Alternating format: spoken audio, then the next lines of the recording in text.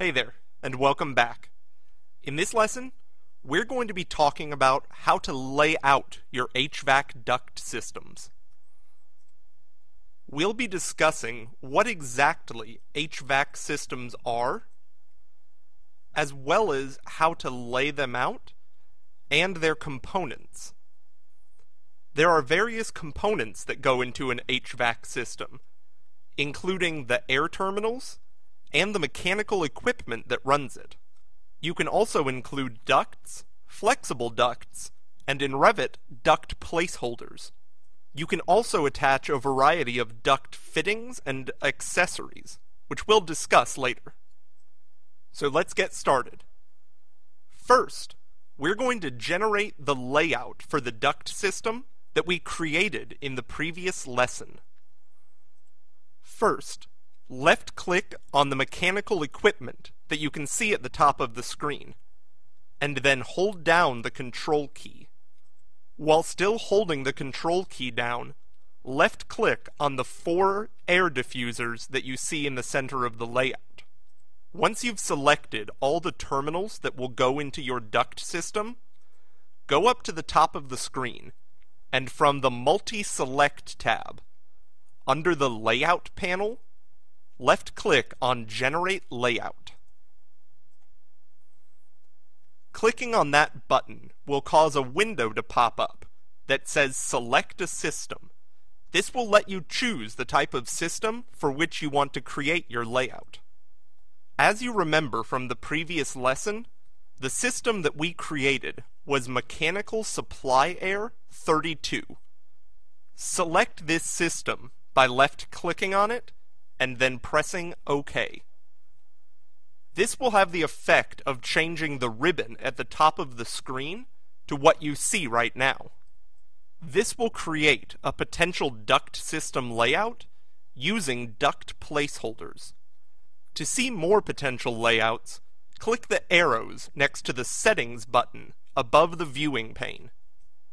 Cycle through all the potential layouts until you find one that you're satisfied with for the purposes of your project. Then, from that same bar, click on the Settings button that we just mentioned. Another window will appear called Duct Conversion Settings. You'll see two options in this window one for the main duct and one for the branch ducts. If you click on main, the screen will show some of its properties. In this case, it will supply air from the air handling unit to the four terminals. You have the option of changing some of the parameters that are listed. For instance, if you click on the value option next to duct type, you can choose what type of duct you want to have put in you can choose from two types of rectangular ducts. One mitered elbows taps, the other mitered elbows tees. Or you can also choose round ducts. Besides the type of duct that you want to use, you also have the option of setting the offset for the duct. The branch option, meanwhile, has the same two options as main, but it also includes additional parameters that you can set. Flex duct type lets you choose whether you want to have a flexible duct for your branch.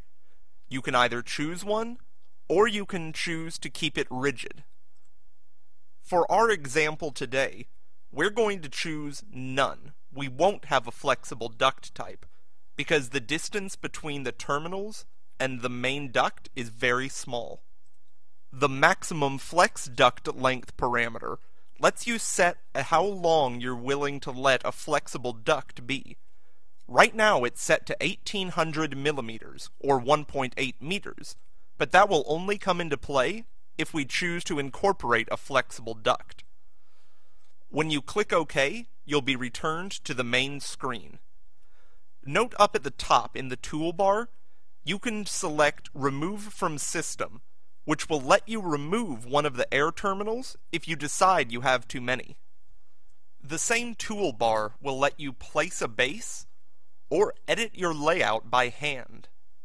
Once you have chosen everything that you need for your duct system, and have made any changes that you feel are necessary, you can click the Finish Layout button with the green check mark, and your duct system will be finished. As you can see on my screen, the duct placeholders have been replaced with actual ducts, and we have a complete duct system. If you want to see this in 3D, go to the project browser, and under the HVAC heading, double-click on the 3D View option. This will let you view your duct system in all three dimensions. You can even scroll around, so you can make sure that your duct system is exactly what you wanted it to be. Alright, let's do a quick review of what we went over in this lesson. We talked today about how to generate the layout of a duct system, both manually and automatically. We also talked about how to edit the other components of the duct system. Thank you for watching.